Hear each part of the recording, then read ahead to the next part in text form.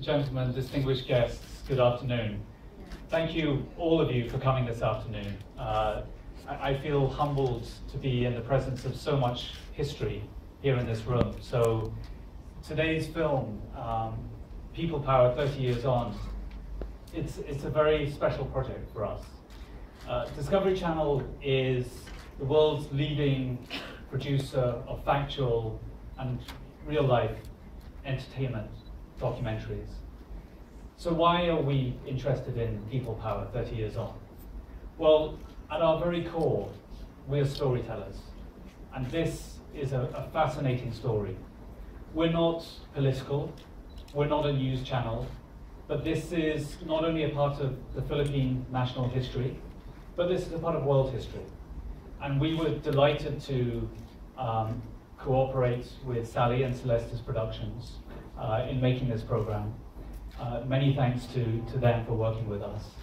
And what, what we've done with Sally is we're telling a story that many people know the story, but at the same time, many people really don't.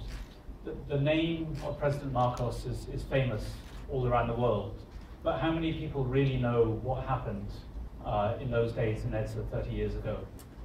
So it's a, it's a natural story for us to want to be involved in, for us to want to reinvent and to retell and to try and engage a new audience. And, and that really is what it comes down to. Um, we're not reinterpreting history.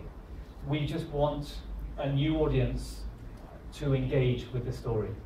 Uh, and that's an important thing for us to do here in the Philippines, but equally it's an important thing for us to do all around the region uh, where this story will, will resonate.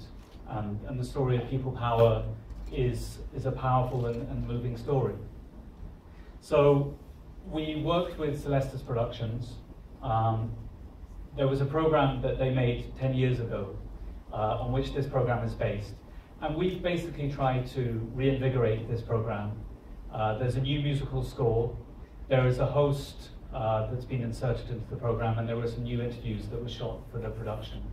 And the idea is to, as I said, to, to re-engage with a younger audience who today perhaps have only sort of broad conceptions of, of what happened, um, but don't really know the details.